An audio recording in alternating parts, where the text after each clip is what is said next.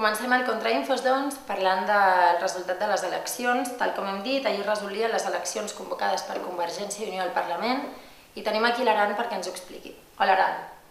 Hola, Sílvia. Doncs bé, de les eleccions, bàsicament destacar que per sort Convergència i Unió s'ha equivocat en la seva estratègia, que malgrat l'elevada participació, la llista més votada segueix sent l'abstenció i que malgrat que una força anticapitalista hagi romput el Parlament, la lluita, com bé deia la Sílvia, segueix estant als carrers. Veiem el vídeo. El primer a destacar és que sí no ha aconseguit la majoria absoluta que tant necessitava. Diguem que la cortina de fum s'ha esvaït i el fet de voler liderar el procés sobiranista en solitari, així com l'aplicació de polítiques neoliberals, li han passat factura. De la pèrdua de 12 escons de CiU se n'ha beneficiat sobretot Esquerra Republicana, que ha passat a ser segona força, així com de la davallada de vots del PSC se n'ha beneficiat bàsicament Ciutadans, que ha triplicat la seva representació parlamentària amb 9 escons.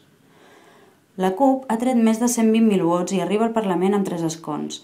És la irrupció per primera vegada d'una força política anticapitalista i per aquest motiu no volem deixar de dir que la lluita és al carrer i que és des d'allà des d'on cal seguir teixint complicitats i plantant cara. De les enquestes i la seva fiabilitat no cal ni parlar-ne, mentre que de l'assumpte de la participació, tot i ser la més alta en unes eleccions al Parlament, la llista més votada segueix sent l'abstenció.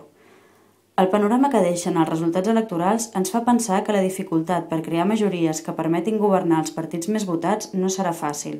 És moments, doncs, de saber aprofitar la conjuntura i deixar clar que seguim sent ingovernables. Thank you.